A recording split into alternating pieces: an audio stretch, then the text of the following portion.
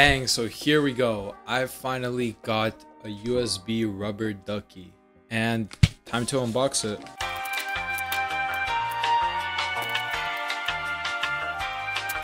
A few moments later. The USB rubber ducky. Not sponsored by the way, this video is not sponsored by these. I will talk about alternatives, cheaper ones, better ones. A guy actually got this thing for me, so shout out David. But yeah, as you can read here, looks like a flash drive, types like a keyboard. What bad USBs basically are, it's designed to look exactly like your typical thumb drive. But when you plug it in, there's a chip inside of it, which makes the computer detect it not as a USB drive, but as a keyboard. Let's say I plug in the USB rubber ducky and I program it to go Windows R, CMD-C, and run some kind of command or download something online. And I just did that all with a keyboard. So we're gonna play around with a few modules, see what we can come up with. This thing was low-key expensive, so I'll talk about cheaper alternatives. Getting started, learn how to write your first payload in Ducky script. So that's their official programming language. And unlock the power of keystroke injection to automate any task from system administration to cybersecurity. Wait, wow. So you can put it into a computer, tablet, or smartphone. And it also has USB-C. All right, so let's check it out. Oh my God. And here we go. We got USB-C and we got the normal USB. Honestly, I'd expect it to at least look a little different, but this looks exactly the same as a regular USB. Okay, so I'm just gonna plug it in right now and see if anything happens. So it did open up a new drive. We have docs, payloads, encoder, getting started, inject.bin. Honestly, what I want to make it do is download and execute some reverse connection. Okay, so I'm to lock in, make something cool, and I'll see y'all later. Peace. All right, so time to put this thing to the test. I made three scripts, so we're gonna test all of them out. First, let me show you how to even use this thing. So basically, if I just put this in, nothing's gonna happen. I don't have any script like set to run, nothing. Okay, but now if I click the button, bang, here we go. From here, we can manage the files. I just made this folder called scripts. We got all of these. So yeah, we're gonna test this on my um, laptop. We're gonna bring it in in a sec and test all these out.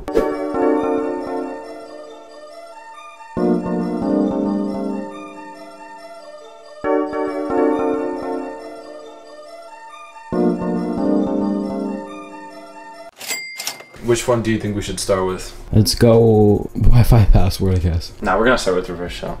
Okay, I guess so. Paste it here, and basically, we're about to get the connection on our phone.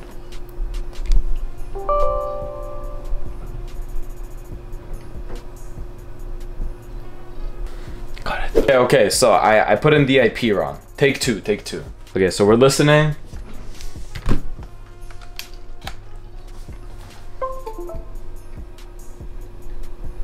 Bang. And bang! Admin shell. Pro tip. If you want to check if you have admin privileges, run net session. If it says access denied, then you don't have admin privileges, but if it says anything else, then you do. Start calc. So yeah, delete system 32 now. Open something else.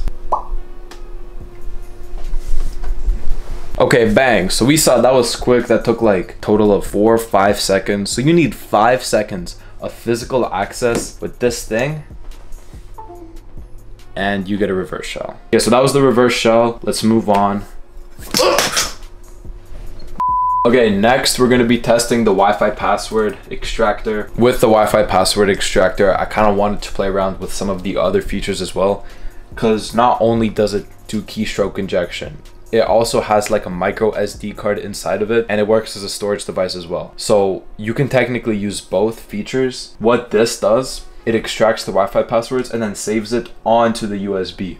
So you can put it in, extracts the password, and now the USB has the Wi-Fi password. So it doesn't like connect to any server or anything. Okay, so we're Loki just gonna test this on my own PC since we don't really need the laptop for this. But we are gonna use the laptop for the fork bomb. For the Wi-Fi password that we'll just do it here because it's easier. Bam, put it in. Didn't press the button. Ooh, okay, so over here, I make it save a text file, the computer name underscore wi-fi.txt, and over here we see all the Wi-Fi passwords. Oh shit. technically do this with anything.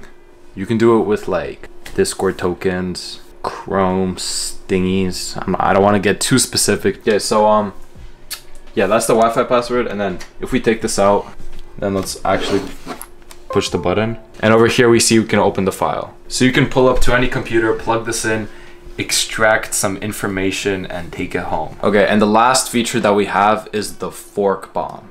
If you don't know what a fork bomb is, unsubscribe. I can't lie. It's a pretty simple concept. I'm a little disappointed. But anyway, I'm about to show you what it is. So don't worry. Actually, this isn't even a fork bomb. I just realized. it ain't even a fork bomb. It literally it just crashes the clickbait. CPU. Yeah, yeah. Okay. Clickbait.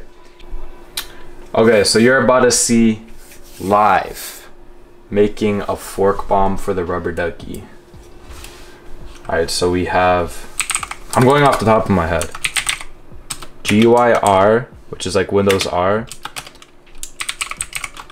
Wait 100 milliseconds.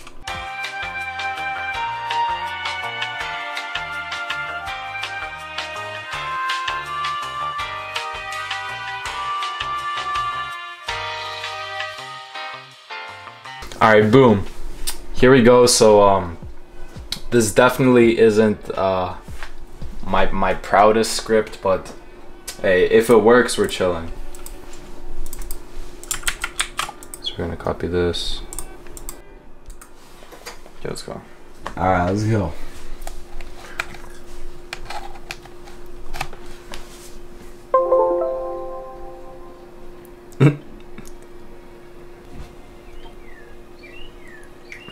Oh. Whoops. Um, I, yeah, yeah. Taking it out isn't gonna fix this one. Okay, wait, hold on, wait. What should we do? I feel bad for the CPU. This laptop's about to be become even slower. no. No, there's not to restart. I can't. Educational purposes only. no, let me. Task. Why does no one ever teach you how to deal with it? Have to what? Uh, and just like close the computer. Alright, so basically, what I learned is that you can make this thing do anything. Um, because I can do a reverse shell, that also means I can do a rat. That also means I can do like other stuff. Um, and basically, the possibilities with this thing are endless. And by the way, USB-C too. Maybe in the future we can also like cook up a few things for MacBooks, or maybe go out in public and go crazy.